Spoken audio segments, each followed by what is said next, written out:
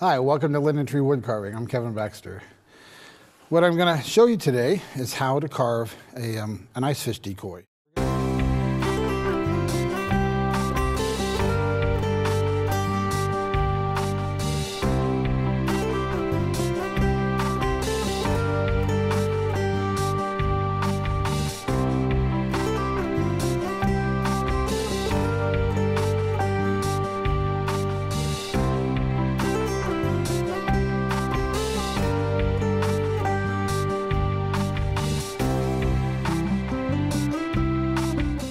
Well, the first thing that we need to look at when we're going to carve is what kind of wood we're going to use. What I've chosen today for this project is white pine. And white pine can be obtained in most lumber yards.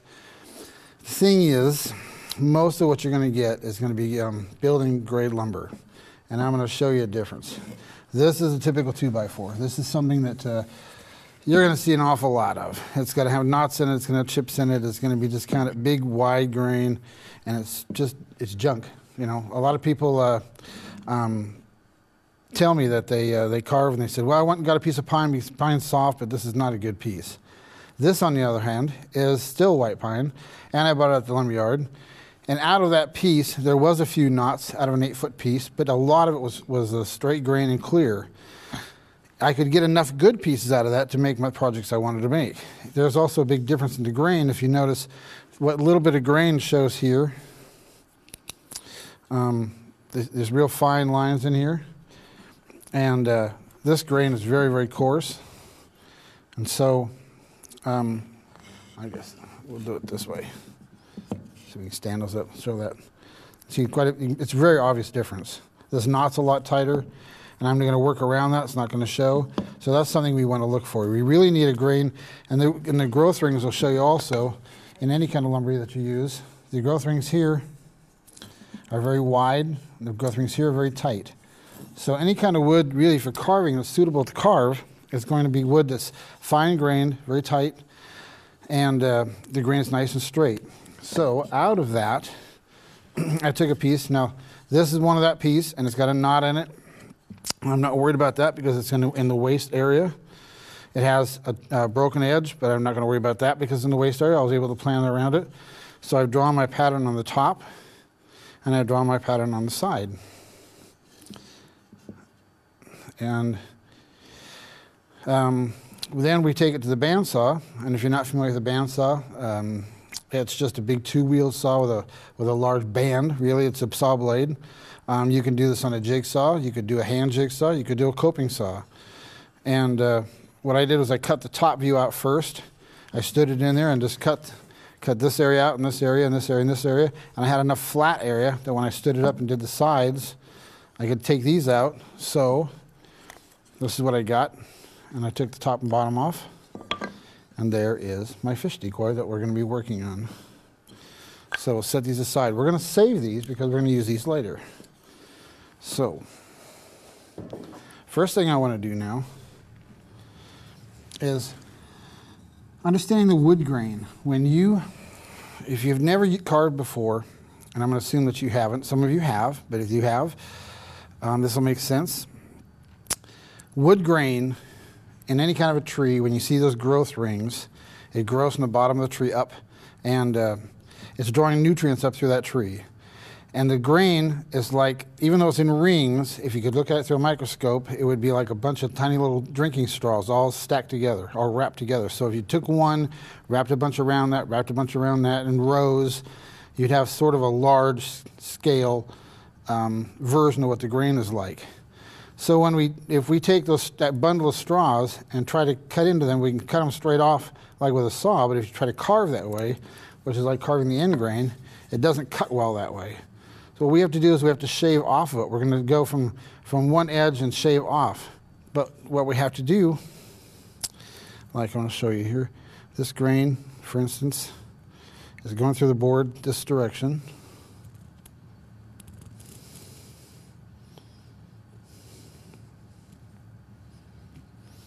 So I've kept it pretty straight. It's not always that straight.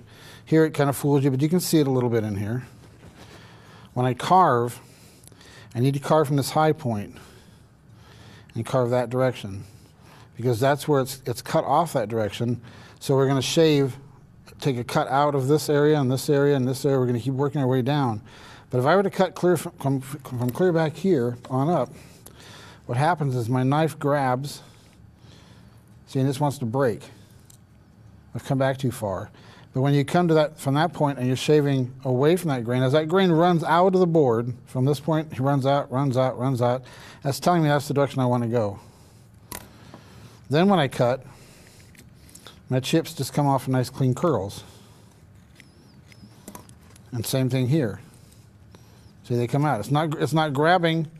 If I come back here now, see how that split? He grabs, wants to just tear off. Now, it's not going to hurt anything at this point. But as you're carving, if you come back too far, that's an indication right there that you're going against the grain. You've gone back, you, the grain is grabbed, and it's going to break out. We don't want it to break out. So we're going to work from this point, this direction, and this point, this direction. Same thing down here. As the grain, wherever the grain kind of runs out of the board, it gives me a starting point.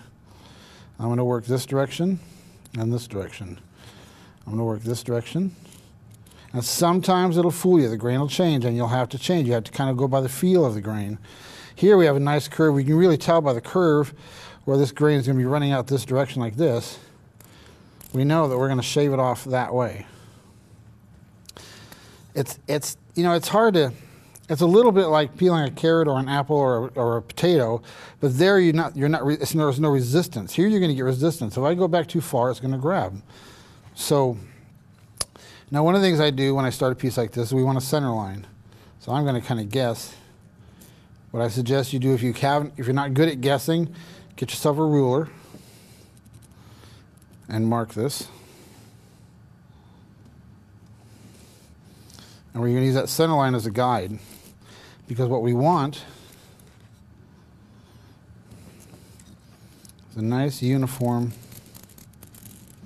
body. So I'm going to really round this fish from this point to this point, and this one to this one, so that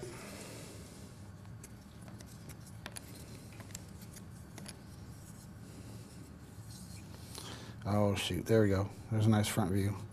So that from that front view, it's nice and even. Okay, we've got our fish marked. We know the grain, we know the direction we want to go, and now we want to secure our work. We want it safe. So I want both hands on the, on the wood, so or on the tools, not on the wood.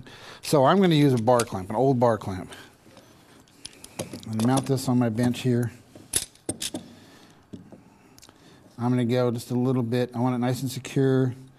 Just, just stay away from that line, that center line that I marked, so I can work from that over. That's good. You might have a more modern clamp, a quick grip clamp, a C clamp. Um, you can find these at the hardware store to secure your work. Any of those will work. So now that my work is secure, like I said, I'm going to work from that line this direction. And so I have um, a, uh, my, about a three quarter inch gouge here, and we're just going to start taking some wood away.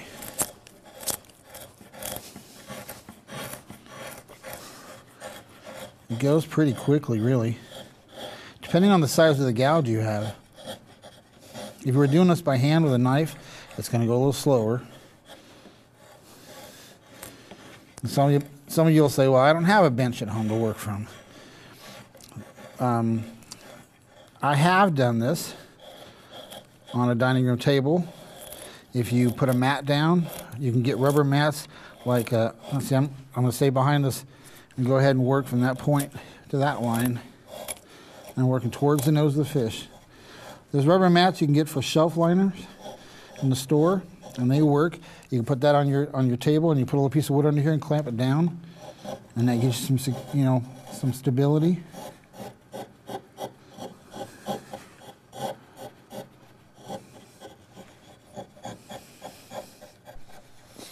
Okay, I'm gonna take this loose, we'll flip around.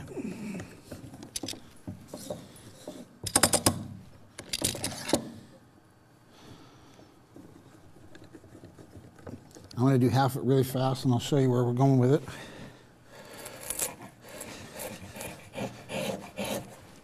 Now just really taking that corner off. and working from that line to where that other center line was. And creating just kind of a nice curve there.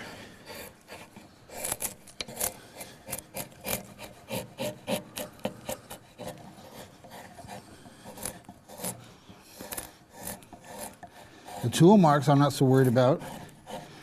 I can go with something smoother and I can take some of those off. I have wider tools that I could use. Or we could take a knife, and I'm going to show you that with a knife. We can smooth it that way too.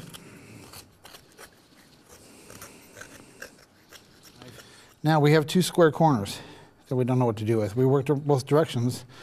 So I'm going to go, now is when we're going to get impatient and want to take that out like that. That's where it chips. We don't want that. We're still going to have to consider that we have to work both directions.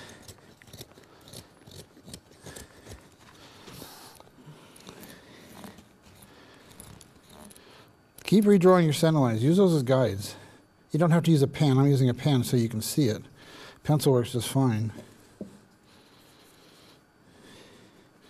Well, those quadrants help you visualize where you're at.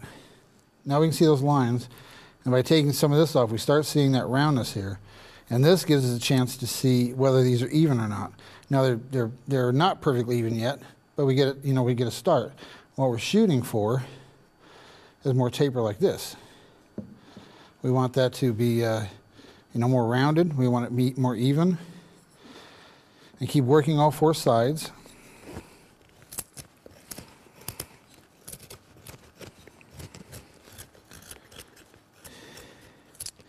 When I use a knife, I want to hold it in the, in the, in the grip on my fingers right here, or I'll take this smaller one.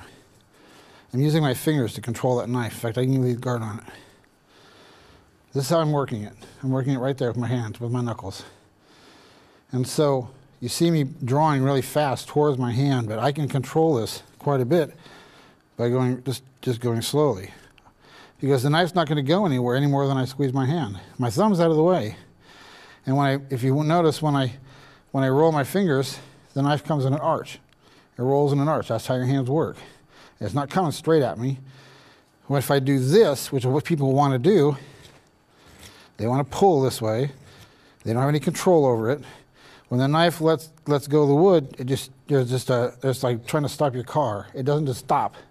It rolls a little bit. Well, the knife blade's gonna do the same thing. Or when you're carving like this, you know, once it releases, you have this much space that you're shooting out in space with a, with a blade.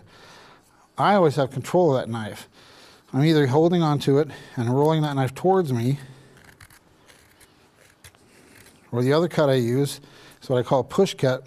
And as I'm holding that piece, and my, this is against my thumb, the back of the blade is against my thumb, I'm using this thumb, not this hand. This hand's just supporting the knife. This thumb's going to do the work. And it's hard to get used to doing that. That's going to push that blade through there. So once I get practice, I can go very quickly. And it looks like my right hand is doing the work, but it's not. The left hand is doing all the pushing. The right hand is just keeping it against my left hand to create stability. This way, I'm not freehanding. I'm only going as far as my thumb can push. There's complete control there. My hand's away from it. The blade's not over here by this by the corner of my hand here. I have nothing to get no way to really get cut as long as my hands are behind the blade. Now here my thumb is in the road, but I'm not coming clear up to it. So there's two different ways. I've taken it off with a gouge, and I've taken it off with a knife. And the gouge is a little slower, or the, sorry, the knife's a little slower. So we can go back and you can use that gouge again just to show you.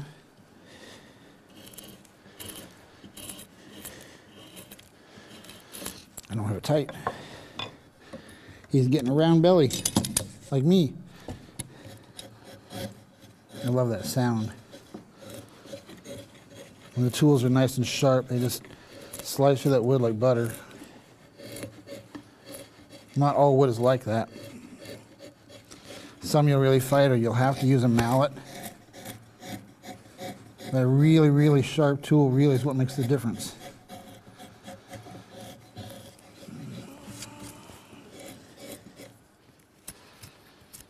So there's my center line. I'm gonna work my way up to it.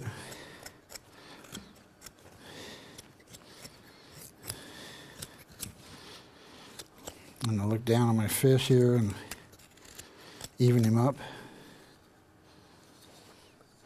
And I went over this piece and took the sanding mark or the gouge marks off. You might want to leave the gouge or the tool marks. You like, I know, might like those. Some people do. Where was this one, I took the the rasp and I worked over it and took all that off and smoothed it up a little bit, coarse side and smooth side. Again, just the lumberyard fine. You can get these over in the lumberyard. Didn't have to be super detailed, but it smoothed it up a little bit, shaped it, and now we're ready to do the detail. Okay, we have our fish body all figured out, all shaped up, all smoothed up. And I took the one that was finished, and I'm going to show you how I lay a, the eyes and the face on it. One way to do it is I go to Google and I'll find like a profile of something, or I, will find several pictures of what I need. There are even companies that sell castings, if you want to get really detailed, of actual fish heads and bird heads and things like that, where you can get a resin casting if you want to get that detailed. But we're making a decoy, so I'm going to keep this simple. So I'm going to draw on the, the gill cover, or the, or, the, or the mouth cover here, which is just kind of a little tab right here over his mouth. And his eye sets in right about here. And that's where that center line worked. I'm going to do the other side. I'm going to kind of do it from the top a little bit so I can kind of tell where I'm at.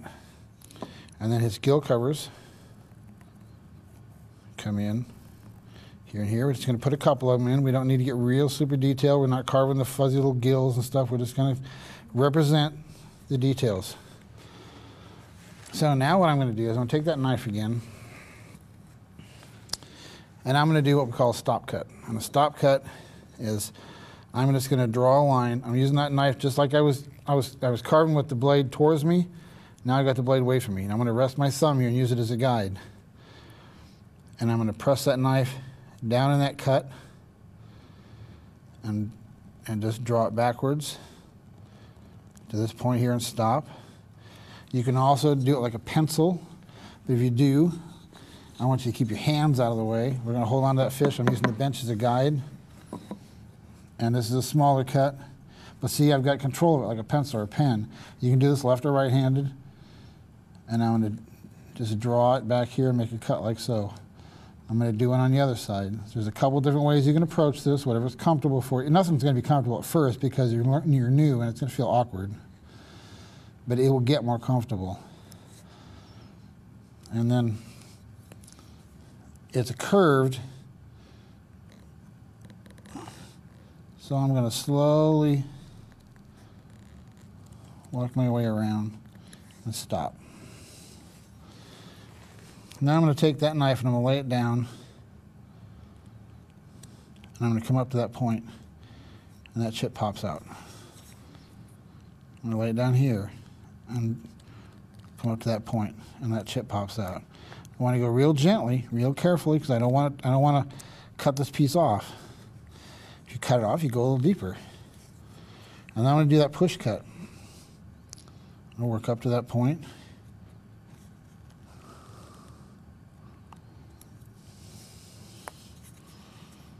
And since it's on a curve, I have to come out a couple different times.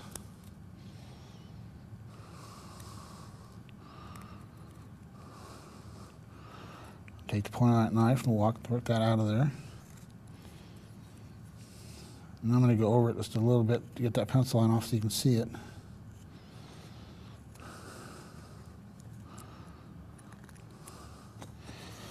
And really, what we want to do is kind of create a little shadow. It's there, this little piece is so thin and lays so tight to the fish's body, you barely see it.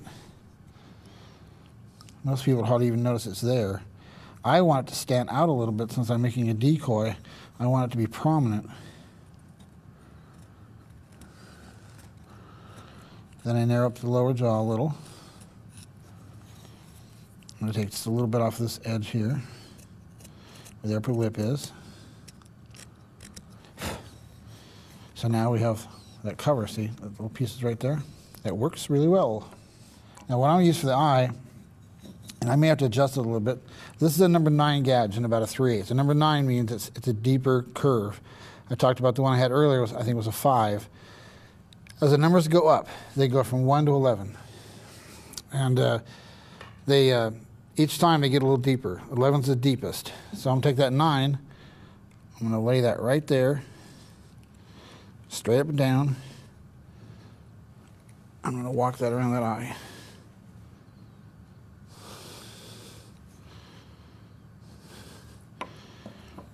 And now the same thing on this eye, what we have to do, as this grain, I have to go this direction and then this direction, or I'll chip it out. And this way and this way, towards, so I'm gonna come back a little bit, use the point of my knife.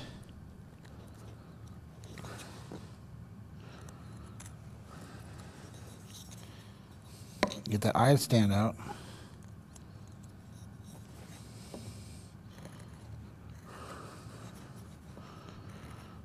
Clean up the little fuzzies in there. And then I can just real carefully around the edge of that, that eyeball.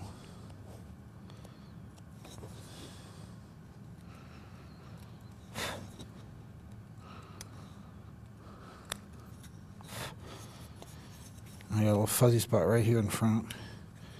There it goes. Came out. Now the eye stands out. Now it's going to stand out more when I paint it. And I'm going to do the same thing on the gills that I did on this one. I'm going to make a, a sharp cut along here.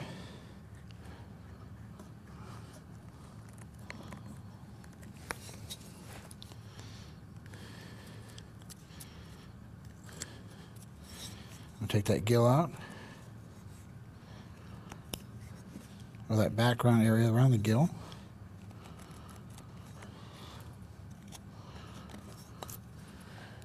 And then we're going to do another one.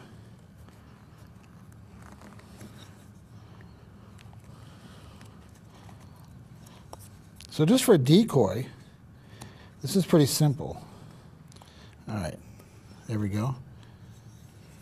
Now we have the basic, we have the basic shape there. You got the mouth cover, the eye, the gills. Now we can smooth this out a little bit so it's not so harsh.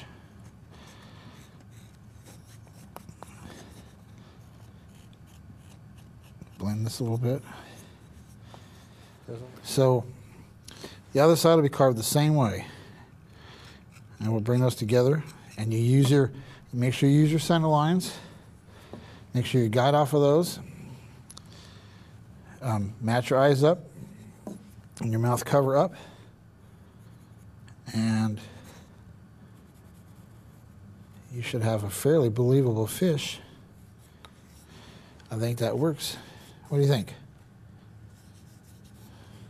There we go. Next we'll do the fins.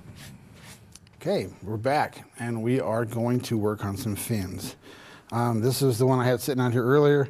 I, the fins aren't done. They're just kind of popped into place for the time being to give you an idea where they go.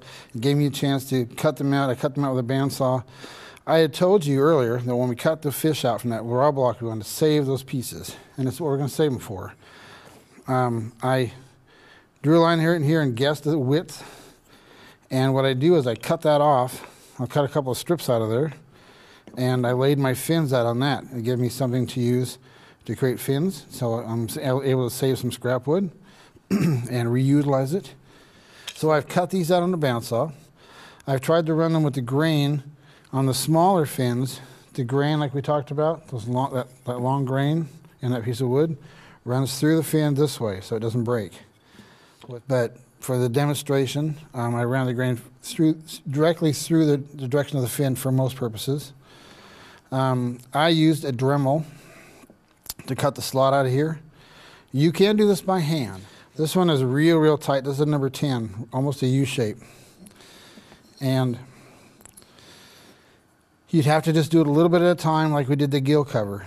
You, you know, just put it in there, use your knife, cut on both sides punch the ends, and then go in back in with a gouge and hollow this out to the width that your, your, your piece is going to be. First, I just kind of took some, some wood off of both sides.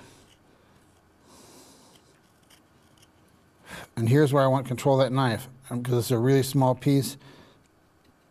and I don't want it to break. See now, my, now I can feel. I can't see the grains well, but I can feel where it's grabbing. See my chips aren't coming out. I just want to stop there, and I can pull. If I keep pulling, they're going to pop off, but it's going to chip. That's one of those places where you. I was telling you about the grain. Will they'll kind of stop you.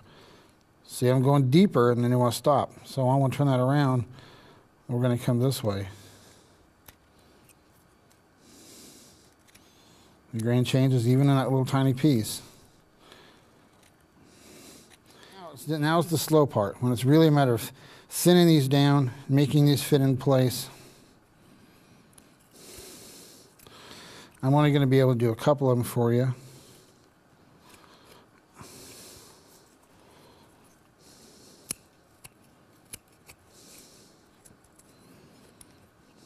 But in the end, we'll show you what this looks like.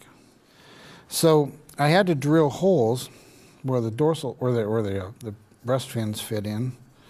And I have those where they fit. Then it's a matter of shaping that fin like I did here. Taking it down. Each one is just, it's the same basic process. I'm just going to thin it thinner and thinner. I don't want to get it paper thin. I just want to get some shape to it so it looks a little bit more like a fin. And then this will just get glued in with wood glue. And I'll do the appropriate fin for each one of these and add the tail. The tail's still pretty bulky here, but it would get shaped and put in. By the time, and then when we're all done, the little guy stands up on the table. And these two fins lay more to the body. So these three are the what he's resting on and you have a decorative decoy. And that's it. See you next time on Linden Tree Wood Carving.